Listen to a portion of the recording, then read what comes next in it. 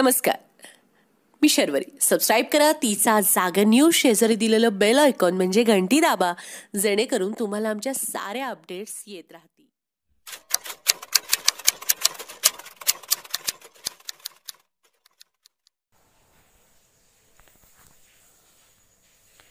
खाजगी Covid सेंटर्सची CID चौकशी करा अन्यथा बारा जुलैपासून जिल्हाधिकार्यालयासमोर तीव्र आंदोलनाचा इशारा. डॉक्टर महेश कांबळे कोरोनाच्या दुसऱ्या लाटेमध्ये सांगली जिल्ह्यातील खाजगी रुग्णालयात मोठ्या प्रमाणात कोरोनाबाधित रुग्णांचा मृत्यू झाला आहे.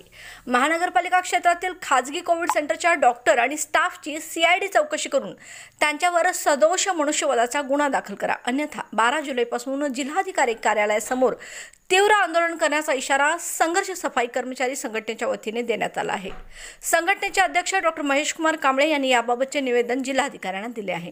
यामध्ये बामनोली येथील दुधनकर हॉस्पिटल मिरजेतील सेवा सदन मिरज चेस्ट आणि सिनर्जी व इतर सर्व खाजगी कोविड सेंटर्सच्या सीआयडी चौकशीचे आदेश अकरा जुलैपर्यंत द्या. अन्यथा बारा जुलैपासून जिल्हाधिकार्यालयासमोर तीव्र आंदोलन करण्याचा इशारा संघर्ष सफाई कर्मचारी संघटनेचे अध्यक्ष डॉक्टर महेश कांबळे यांनी दिला आहे.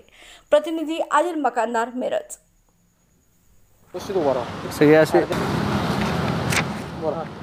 दिनांक एकवीस सहा दोन हजार एकवीस रोजी गेल्या महिन्यामध्ये माननीय जिल्हाधिकारी साहेबांना आम्ही एक निवेदन दिलं होतं.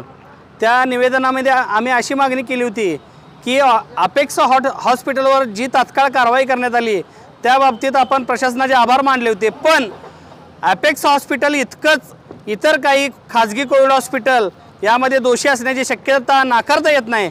म्हणून आपण दुधनकर हॉस्पिटल या हॉस्पिटलची सुद्धा सेवा सदन हॉस्पिटलचं मिरज चेस्ट हॉस्पिटल तसेच सिनर्जी हॉस्पिटल यांच्यासह महापालिका क्षेत्रातले जे काही खाजगी कोविड हॉस्पिटल होते त्या ठिकाणी कोविड नाईन्टीन या आजारानं जे म, रुग्ण मयत झाले होते त्या मैतांचं death audit C I D चौकशीच्या माध्यमातून सी आय डी मार्फत करण्यात यावं अशा पद्धतीचं आपण निवेदन देऊन मागणी केली होती. आणि यामध्ये आपण जिल्हा प्रशासनाला असं सूचित केलं होतं की पंधरा जुलैच्या आत जर सी आय डी चौकशी नेमून यांची ह्यांचं डेथ ऑडिट करण्यात आलं नाही तर आम्ही उ- स- उच्च न्यायालयामध्ये जाऊन जनहित याचिका दाखल करणार.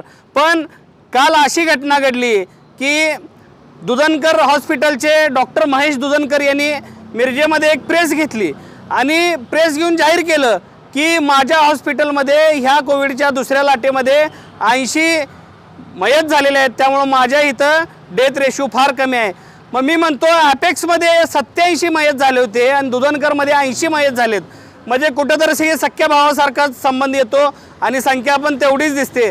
त्यामुळं मी पुन्हा एकदा आज जिल्हाधिकाऱ्यांना स्मरणपत्र दिलेलं आहे आणि मी अशी मागणी करतोय की या दुधनकर हॉस्पिटलची स्वतः त्यांनी जी घोषणा केलेली आहे की मी कसल्याही चौकशीस तयार आहे त्याला अनुसरून दोन दिवसात त्यांची चौकशी तात्काळ सी आय डी मार्फत करावी.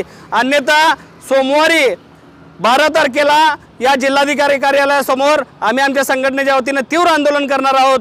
कारण याचं कारण हे डॉक्टर जे आहेत यांनी औषधंसुद्धा जी गोरगरिबांना विकलेली आहेत ती माफक मोठ्या दराने विकलेली आहेत आणि ती स्वतःच्या कोविड हॉस्पिटलमधनं विकलेले आहेत. त्यामुळं रुग्णांची फार मोठी लूट झालेली आहे.